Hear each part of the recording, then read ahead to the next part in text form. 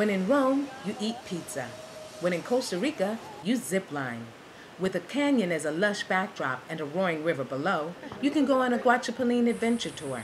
But be prepared for a full day of physical activities that will not only test your fear of heights, but you might also get more than you bargained for as you go down the Rio Negro. If you want to take it easier during your vacation, here are some activities to keep you busy.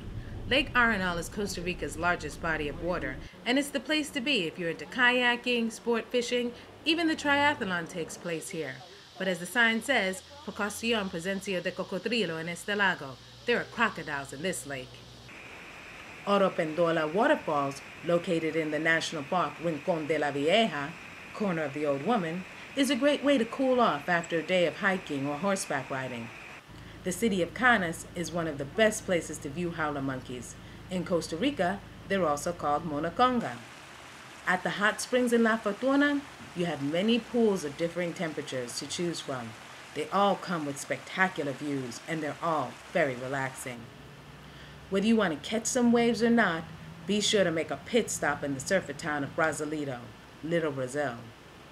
Life doesn't get better than this. Great music, dinner right on the beach, beautiful sunset. As they say in Costa Rica, pura vida, pure life.